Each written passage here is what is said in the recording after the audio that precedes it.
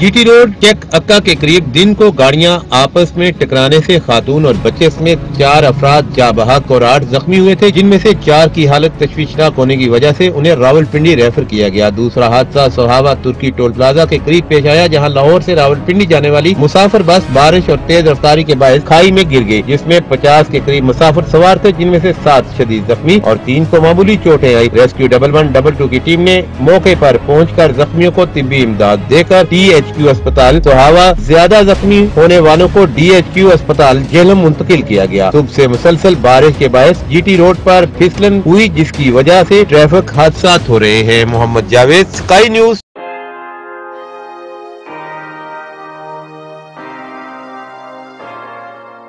मजीद खबरों और अपडेट्स के लिए विज़िट कीजिए sky news dot com dot pk